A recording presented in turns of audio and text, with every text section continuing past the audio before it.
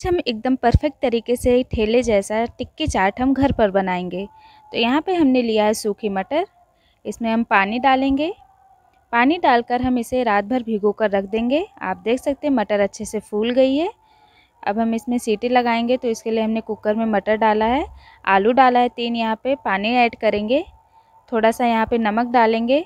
और हल्दी भी ऐड करेंगे। इन सबको ऐड करने के बाद हम चार से पाँच सीटी लगा लेंगे और ये छोला हमारा बनकर तैयार हो चुका है। अब हम इसमें ऐड करेंगे रोस्टेड धनिया पाउडर, जीरा पाउडर। यहाँ पे तीखे के लिए यहाँ पे लाल मिर्च पाउडर ऐड करेंगे, इमली का पानी इसमें ऐड करेंगे। अब हमारा जो छोला है वो एकदम परफेक्ट तरीके से बनकर तैयार हो चुका है। सारे मसालों को अच्छे से मिक्स कर लेंगे और नमक डालेंगे यहाँ पे टेस्ट के अनुसार। तो नमक हमने पहले भी छोले में डाला था तो यहाँ पे ज़्यादा नमक नहीं ऐड करेंगे। अब टिक्की बनाने के लिए यहाँ पे हम आलू लेंगे जो हमने बॉईल किया था। इसमें ऐड करेंगे एक टेबल स्पून चावल का आटा। इससे जो है काफ़ी क्रिस्पी टिक्की बनकर तैयार होती है। अगर आपके पास अरा रोट है तो उसे भी डाल सकते हैं। तो यहाँ पे हमने चावल के आटे का इस्तेमाल किया है। इन सबको अच्छे से मिक्स करने के बाद हम इसे टिक्की के फॉर्म में करेंगे इस तरीके से राउंड शेप में करके। इस तरीके से टिक्की के शेप में बना लेना है। टिक्की में और हम कुछ भी नहीं ऐड करेंगे, ये सिंपल ही रहेगा।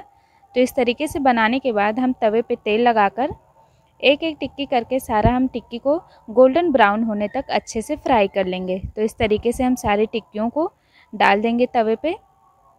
तो यहाँ पे हमने कम तेल का इस्तेमाल किया है। इस पे नॉन स्टिक तवे पे बनाया है तो आप अपने अकॉर्डिंग तेल का इस्तेमाल कर सकते हैं। तो इस तरीके से हमें दोनों तरफ़ पलट करके गोल्डन ब्राउन होने तक अच्छे से पका लेना है।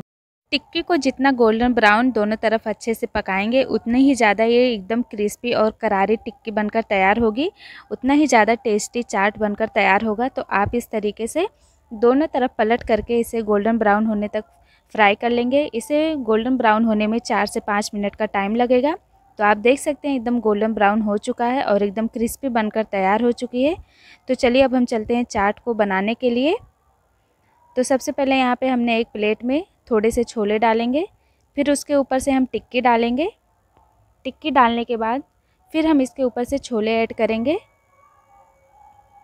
यहाँ पे हम थोड़ा सा डालेंगे बारीक कटा हुआ खीरा, बारीक कटा हुआ टमाटर ऐड करेंगे।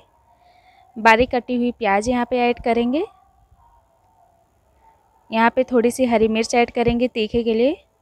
फिर यहाँ पे ऐड करेंगे थोड़ा सा लाल चटनी ऐड करेंगे, धनिया पाउडर, धनिया पत्ती ऐड करेंगे, आलू भुजिया ऐड करेंगे यहाँ पे।